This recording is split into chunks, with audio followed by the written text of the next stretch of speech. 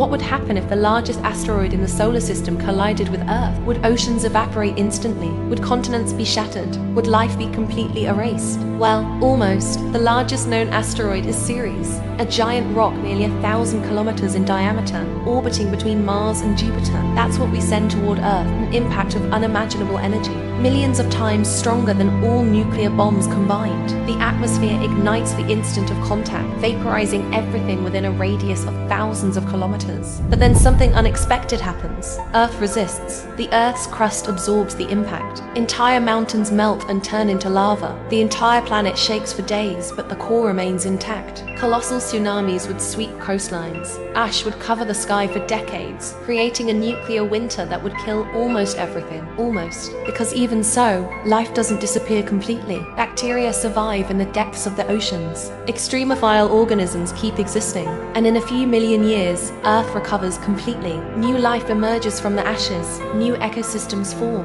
as if nothing had happened. Because here's the truth the most devastating asteroid that exists is still insignificant compared to Earth's own resilience. The planet has survived this before and will survive again. Life always finds a way.